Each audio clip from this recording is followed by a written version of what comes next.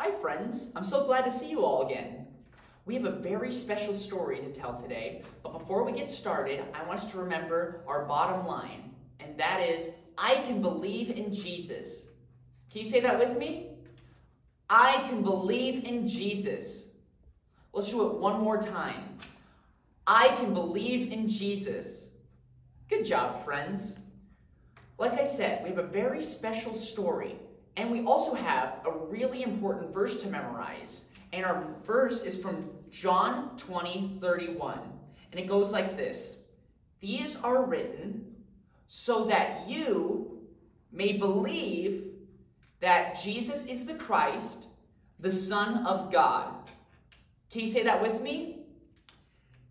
These are written so that you may believe that Jesus is the Christ, the Son of God. Let's do it one more time. These are written so that you may believe that Jesus is the Christ, the Son of God.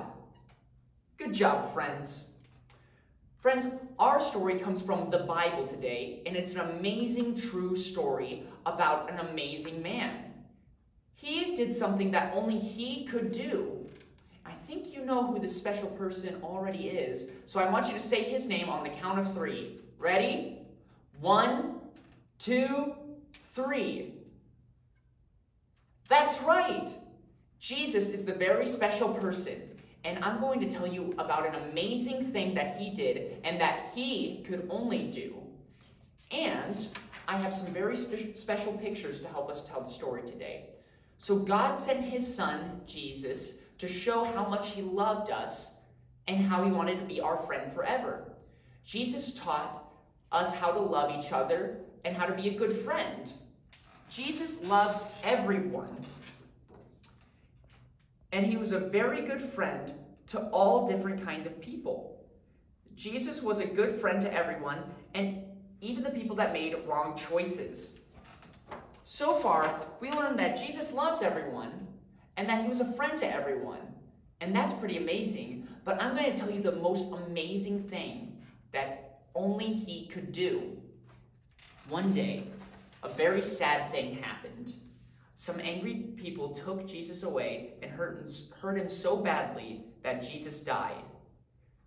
Jesus' friends buried him in a tomb and then rolled a big stone in front of the tomb.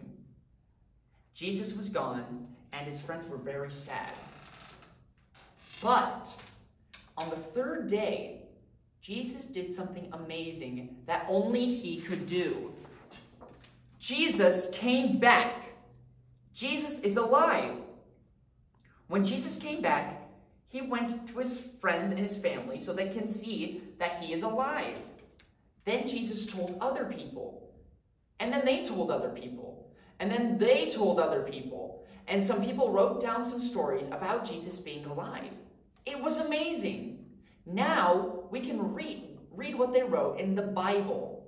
So when I ask you, who is alive? I want you to say, Jesus is alive. So who is alive? Who is alive? That's right. Jesus is alive. Wow, what an amazing thing Jesus did. Let's close our eyes and talk to Jesus before we go. Open them, close them. Open them, close them. Give a little clap. Open them, close them. Open them, close them. Fold them in your lap. Dear God, thank you for sending Jesus to be our friend forever. Thank you that he came back just like he said he would. I pray that we will all believe in Jesus and believe that he is alive and we will choose to follow him. We love you. In Jesus' name, amen. Thank you so much for listening to the story this week, friends. We'll see you next week. Bye-bye.